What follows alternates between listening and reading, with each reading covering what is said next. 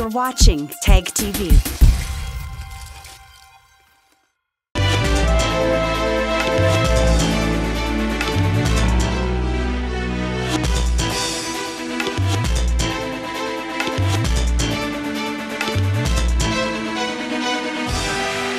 From Kashmir to Kanyakumari, India is a spellbinding mosaic of culture, tradition, languages, and an extraordinary mingling civilization. Keeping its age old culture maintained, today the country is taking huge strides in the path of development. Hello, I'm your host Skyrim Zimik, and today in our episode of My India, we bring you some of the stories that will give a glimpse of our country's diversity.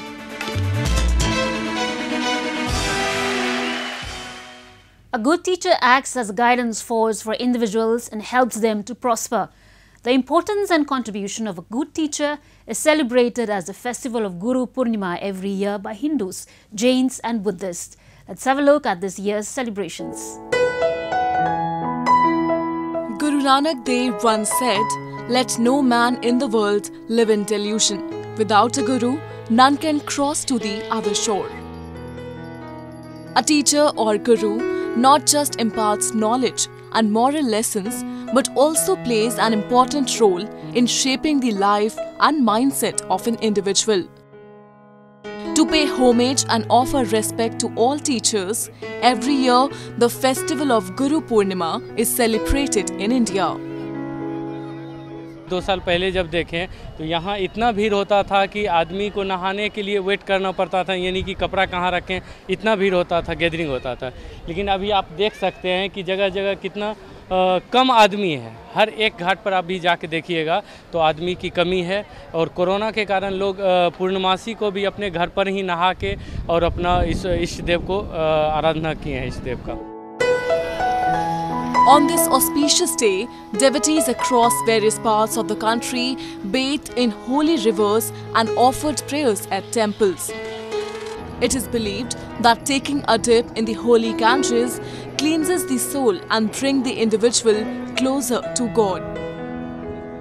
In Kanpur city of Uttar Pradesh, devotees offered prayers, milk, water and sandalwood to Lord Shiva to mark the occasion and dedicated the festival to their spiritual teachers.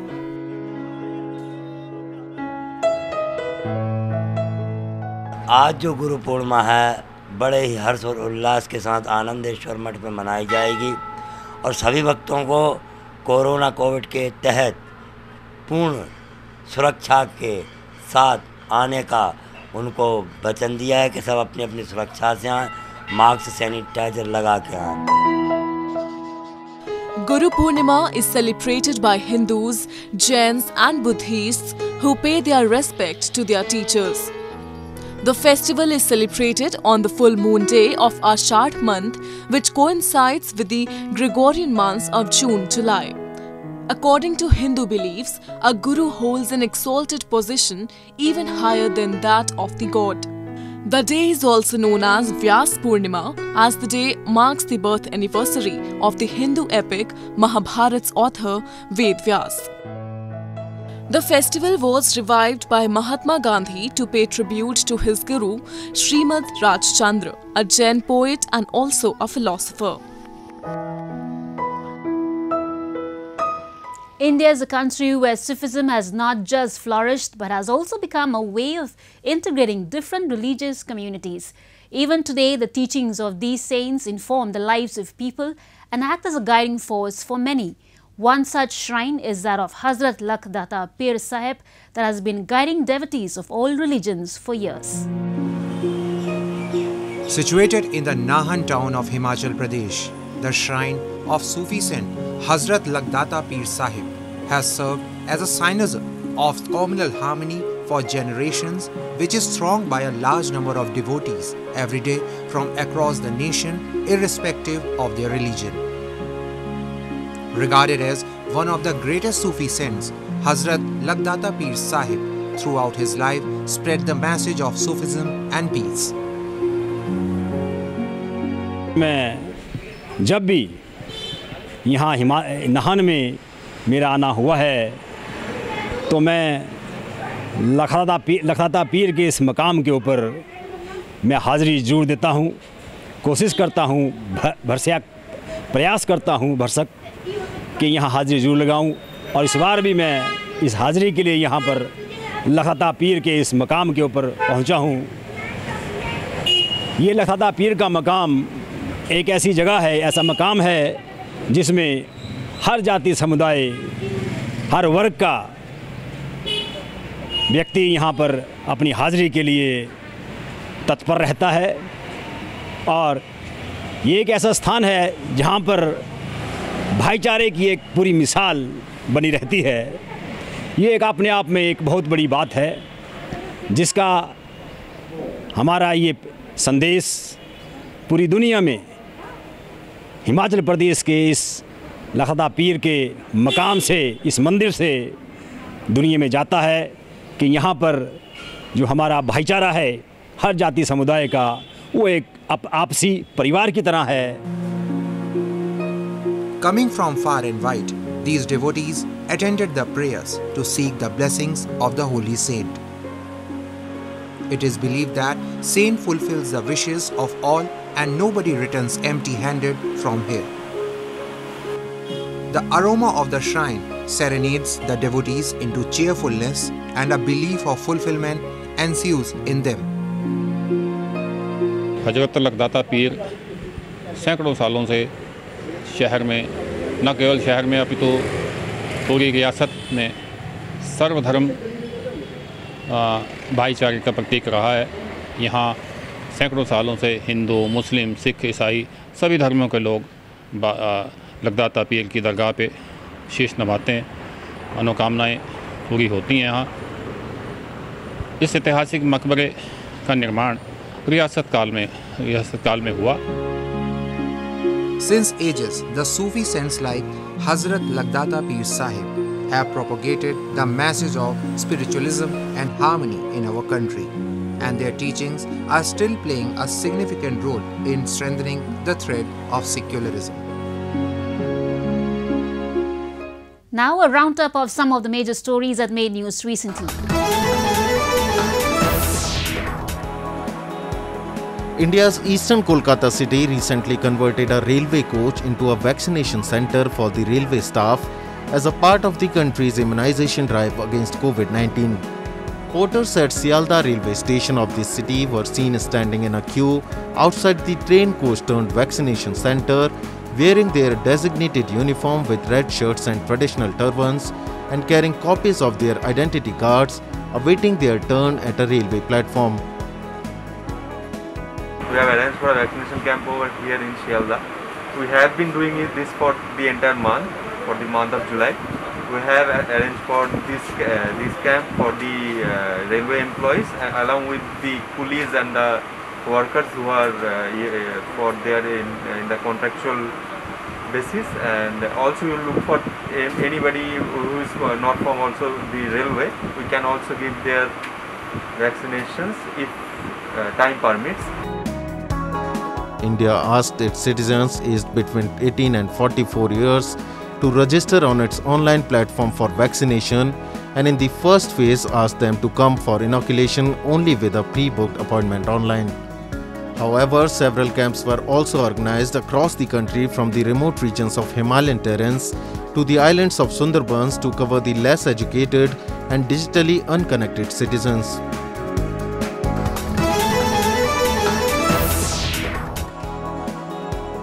Giant version of cottage cheese sweet balls, Rasgulla weighing 1 kg draws sweet-toothed Indians to a shop in eastern Gaya city.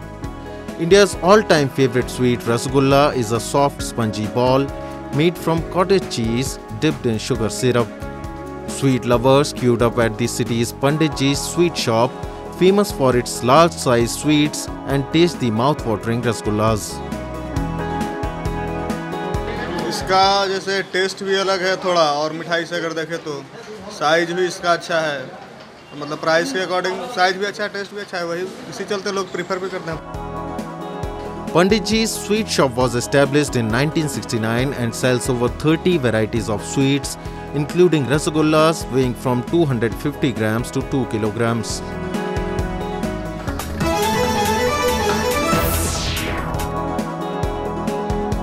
United Nations Educational, Scientific and Cultural Organization or UNESCO has declared India's Harappan excavation site from Indus Valley Civilization era as a heritage site. Discovered in 1968 by archaeologist Jagatpati Joshi, Dholavira is the first excavation site from Indus Valley Civilization in India to get the World Heritage Tag. According to experts, this site was a commercial and manufacturing hub for 1500 years before the decline of the Indus Valley civilization. It was considered the fifth largest metropolis of this civilization. Development करना पड़ेगा उस site को physical development करने की भी ज़रूरत है जो आज सिर्फ़ 25 परसेंट जितना उत्खनन किया है हमको उसको ज़्यादा उत्खनन करना पड़ेगा इसके इर्द गिर्द जो कल्चरल डेवलपमेंट और विलेज का डेवलपमेंट वो भी करना पड़ेगा The site contains fortification with walls made of sandstones and limestone. It also has some reservoirs, marketplace, festivities area, nine gates with unique designs among other things. Unlike other Harappan site, Dholavira doesn't have any human mortal remains.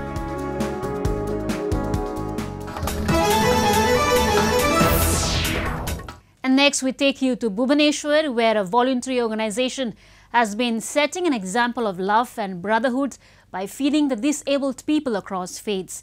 They have been doing it since the beginning of the pandemic and till date they have served around 29,000 people. Take a look.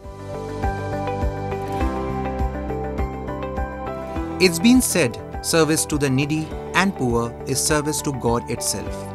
Several acts of kindness could be seen in every nook and corner of the country, where individuals and NGOs have stepped up to provide different kinds of aid like ration, allowances, oxygen cylinders, clothes, and more.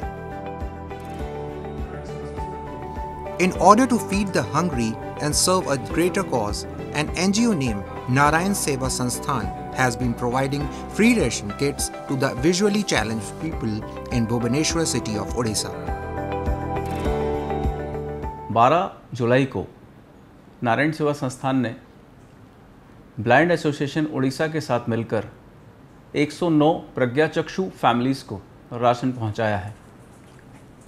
ये ऐसी families हैं जो बमुश्किल अपने पेट का भरण पोषण कर पाती हैं, अपने परिवार का भरण पोषण कर पाती हैं। कई तो मजदूरी करते हैं, दिखता नहीं, फिर भी बहुत मुश्किल से मेहनत करके अपना घर खर्च चलाते हैं The NGO provides free monthly ration kits worth rupees 2500 each to blind families. One ration kit contains 25 kgs of rice, 2 kgs of lentils, oil, sugar, salt, chili powder, turmeric powder, and coriander powder. The organization has a target of providing free monthly ration to around 50,000 blind families in Odisha, Jharkhand, Chhattisgarh, Madhya Pradesh, and Rajasthan. Out of this, 60% of the target has been achieved till now.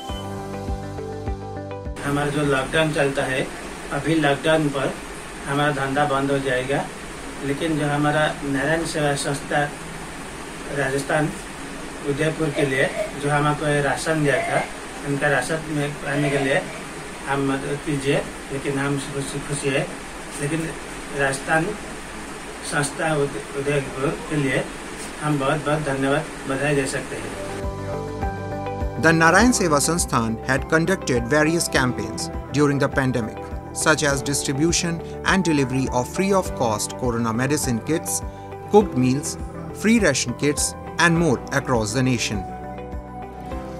So far, 2,837 corona medicine kits, 2,17,895 food packets, and 30,205 ration kits have been given away by the NGO to the families in need.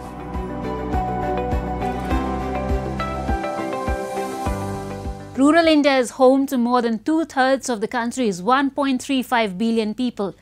With less percentage of its population having access to internet and televisions, radio becomes as an important source of news and information.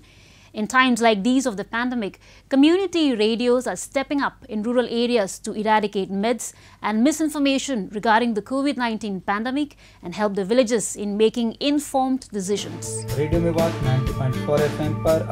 When Imran Khan, our radio presenter, leans towards his mic and says, good morning, at 9 a.m., thousands of people hear his voice booming through their radios. Khan is one of the eight reporters and news presenters at Radio Mewat, a community radio station located in the Nuh district of Haryana. In the district, only 27% of the population owns TV sets and smartphones, making the other part of the population misinformed or losing touch with daily news. But this gap has been bridged by Radio Mewat's operation since the last 10 years that has emerged as a tool to dispel misinformation about the coronavirus. लोगों को पता नहीं था किस तरीके से lockdown होगा, ये बीमारी क्या है, क्या कोरोना है, लेकिन उसमें हमने जो एक्सपर्ट्स हैं डॉक्टर्स हैं, उनको अपने रेडियो तक लेकर आए और लोगों तक इन्फॉर्मेशन हम बार बार पहुँचाए थे कि आप कैसे बचाव करेंगे, क्या ये बीमारी है, क्या इसके लक्षण हैं और उसके बाद जब वैक्सीन आ गई तो लोगों को बहुत सारी वैक्सीन को लेकर भी लोगों के मन में भय था कि अगर हम वैक्सीन लगवाएँगे तो बांझ हो जाएँगे बच्चे बच्चे नहीं होंगे आगे चल के वैक्सीन लगवाए तो धीरे धीरे आप मर जाएँगे। जो इस तरीके की बातें निकल थी जो सोशल मीडिया पर आम रही हर तरीके की अफवाहें तो रेडियो मेवात ने हर सवाल को नोट किया। Radio Mewat, through its programs and narrowcasting, relays health department messages regarding the deadly disease and vaccines in a simplified manner to the people of Nuh. The radio station has been spreading awareness on a number of issues in the district, which has a literacy rate of just over 55%, thus bringing about awareness regarding the menaces in the society. The station also brings in experts, doctors, and COVID 19 survivors to make people understand the dangers of the pandemic and importance of vaccine. The radio runs from 8 am to 10 pm with a 2 hour break in the middle, but its small team often works overtime to contribute more to the cause. And it is the most backward district, so it was very important that the radio uh, came in good stead and started addressing the concerns. There were so many myths going on, on. There was so much of misinformation. There was this whole huge factory of fake news. And that is the time when the radio really took it on itself to communicate to the community that this is a problem it's a global problem uh, there is a lot of fake news do not follow that. And then what we did we started looking at the advisories which were from WHO and the ministry of health and family welfare and we started simplifying those advisories Alfaze Mewat is another community radio in Mewat that has been working on the same lines to help villagers of Mewat to access information and COVID 19 services. It has its studio in Ghaghas, a village tucked deep in the heart of Mewat with the Aravali range of mountains forming a beautiful backdrop. These community radio stations have turned out to be a boon for villagers as it is helping them in eradicating myths and making informed decisions in the pandemic times. Corona चल रहा है तो ये घर से बाहर नहीं निकलेंगे। हमको बहुत डर लग रहा था कि ये कैसी भयानक बीमारी आ गई, इससे कैसा बचा जाएगा, या अपने बच्चों को कैसे हम बचाएँगे। तो हमें इसका कुछ पता नहीं था, खाली डर डर था कि हम कहाँ जाएँ, कैसे बचें, क्या कुछ बच्चों को खुलाएँ। तो हमने फिर रेडियो के माध्यम से सुना था कि भाई रेडियो कोरोना से डरना नहीं है इससे हमें सुरक्षित रहना है These two radio stations are among several community radio stations such as the Noida-based Salam Namaste and the Gurugram-based Gurgaon Ki Awaaz that have been running a range of COVID-19 related community-oriented programs. Next, we bring you a few short stories about the recent developments and happenings from around the world in our section, World in Focus. The scholarship granting ceremony of Aeon One Percent Club Foundation was recently held in Chiba Prefecture with a total number of 37 students. Aeon Scholarship 認定証新規生37名の皆様をイオンスカラシップ2021年度小学生として認定いたします。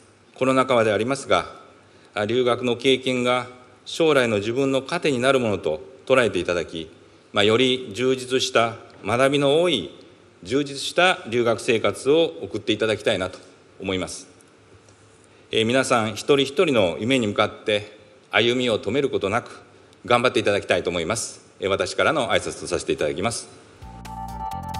New scholarship students introduce their dreams and plans.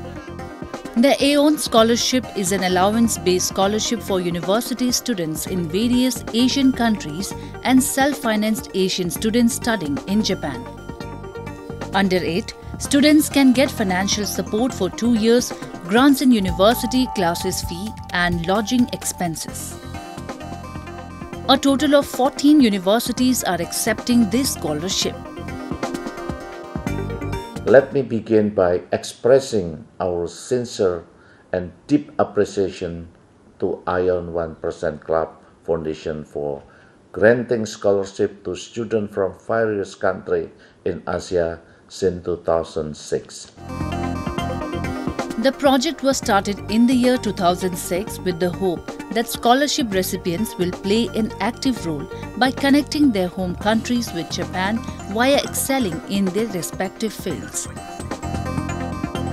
いろいろイオングループは将来東南アジアで、まあ、出ていった時に少しお互いの交流があるということで、えーまあ、イオンとしてもいろいろ彼らの協力も得たいなというふうに思ってるんですけどイオン1%クラブのスカラシップ制度をぜひ活用してえー、皆さんが日本と各国との架け橋となるように活用活躍をしていただきたいというふうに思ってますのでぜひご応募くださいよろしくお願いします Till now, 951 students from 12 countries have received Aeon scholarships and have studied in Japan.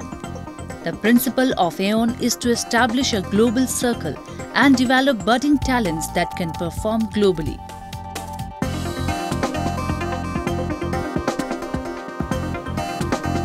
The 38th annual New Jersey Lottery Festival of Ballooning has set off from Readington, New Jersey, where crowds watched as over 100 colorful hot air balloons filled the sky.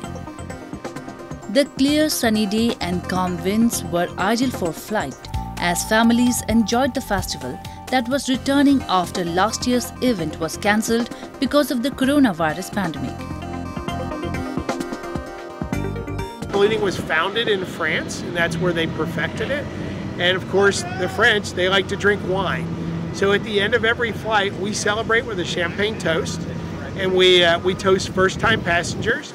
We toast landowners because without landowners, we wouldn't have a place to land, and we toast our crew. I've lived here for 13 years in Hunterdon County in Flemington, New Jersey, and I've never had a balloon land in my backyard ever, and I'm so excited because we were watching them from our porch this morning and then all of a sudden there was a balloon that was right over our house and I was like, land! And they finally landed and I couldn't be happier.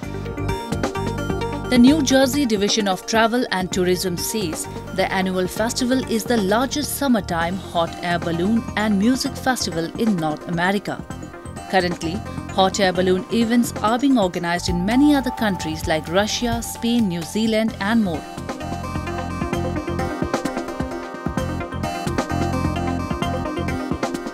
Oguni town is located in Kumamoto Prefecture in southern Japan. It is famous for its lush green cedar forest. For 250 years, the residents of the area have been running a sustainable project to plant cedar trees and sell its woods because of this cedar wood being the main source of timber to build homes in Japan. Each of these huge cedar trees have registered numbers and a documented date of planting. The story of Oguni Cedar began in the Edo period, when a samurai leader distributed 25 seedlings of cedar trees to every farmer in the area to plant them so their children and grandchildren would benefit from its wood in the future. Now, there are more than 1 million cedar trees in Oguni. この小国の杉結構あの全国でも有名になってきてます。で、えー、まあ他の地域とちょっと違うところと言いますとあの小国町は温泉、えー、の出る土地柄なんですけどそのあの地下から出る地熱の蒸気、えー、これを活用して木材を乾かすというあの全国日本でもここだけしかやっていない取り組みを今やっています。Ogni residents live in the bounties of cedar trees.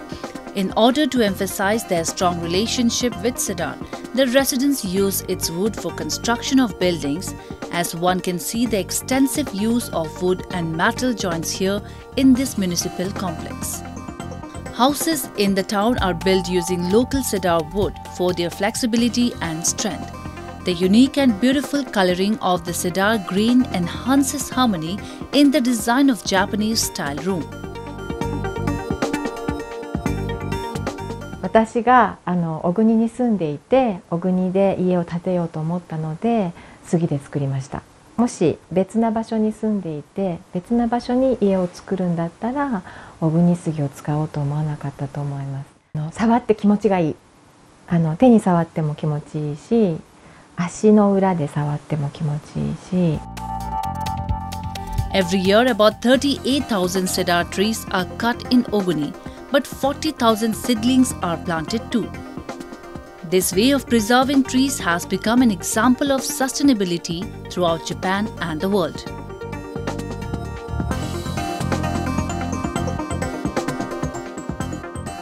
That's all we have for you this week. Your comments and suggestions are important to us.